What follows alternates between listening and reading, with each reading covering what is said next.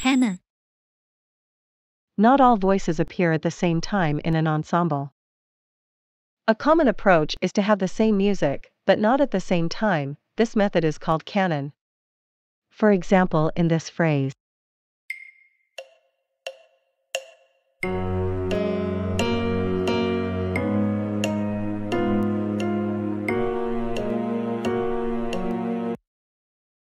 Now let's start playing the canon.